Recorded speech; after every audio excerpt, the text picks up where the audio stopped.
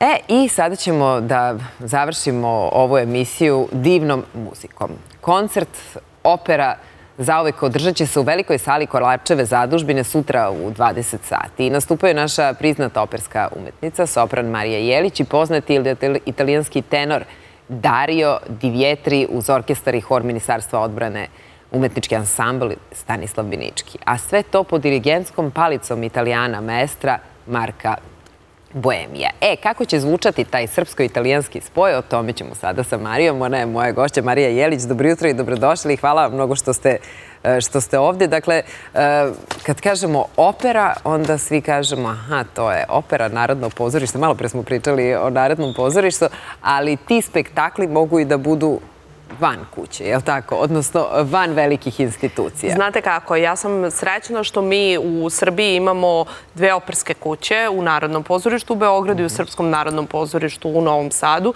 Mislim da bi trebalo da ih ima više, jer gledajući region i u Rumuniji, u Bugarskoj, e, svaki, čak i omanji grad ima svoju opersku kuću i to je jako lepa tradicija i mhm. lepo negovanje kulture.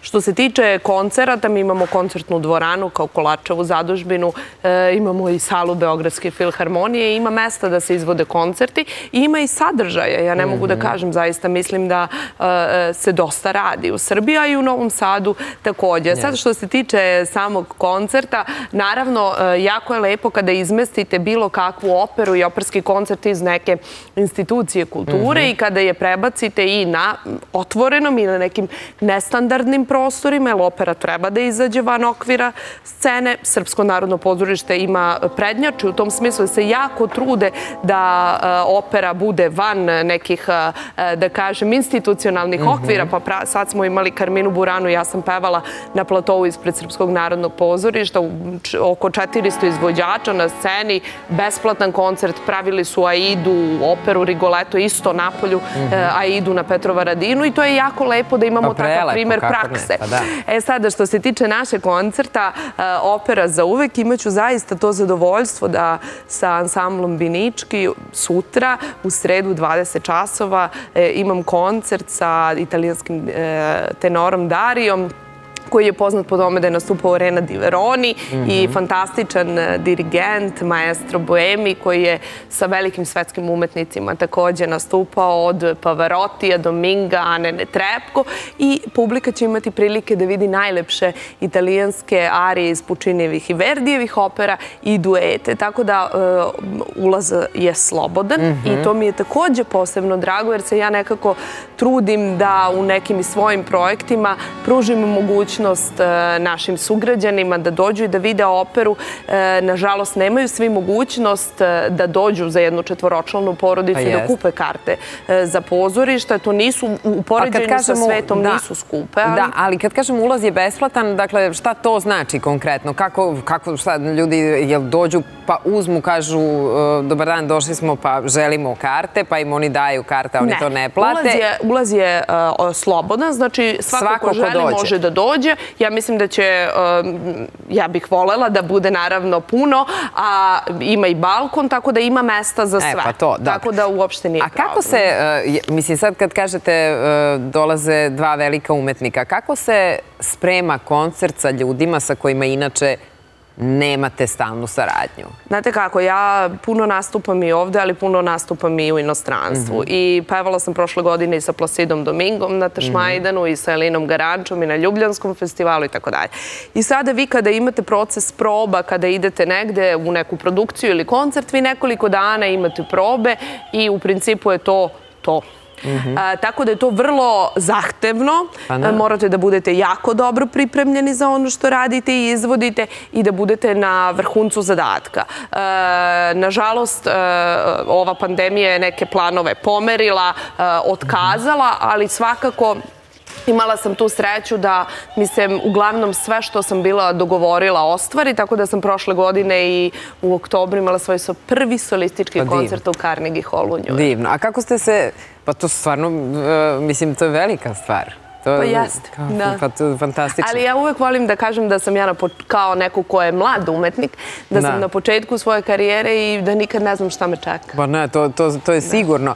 Ali, e, dakle, kada kažete opera pa i insistirate na tome da postoji ljudi koji bi došli, ali e, možda nemaju novac da kupe kartu, vi nekak da sam pronašla da insistirate suštinski na tome da je opera treba da bude dostupna e, svima i da nekako je opera za sve, da to nije nikakva elitistička grana mm, e, umetnosti. A tako je doživljavamo, valjda sad... E, doživljavamo je zbog pogrešne komunikacije. Apsolutno, da. Možda i zbog toga što kad gledamo neke filmove, to je bilo ranije rezervisano, jel, samo za bogate slojeve društva, a nismo stigli da pređemo na sledeći nivo i da shvatimo da je opera i naša ili je doživljavamo kao italijansku ili nečiju tuđu.